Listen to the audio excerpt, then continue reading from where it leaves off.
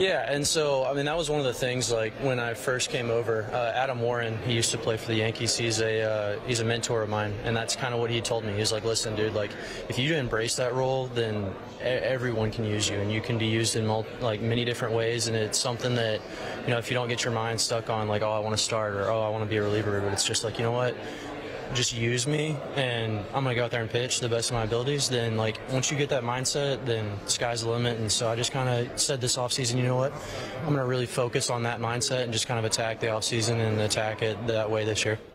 PNC Bank, rooted in communities big and small.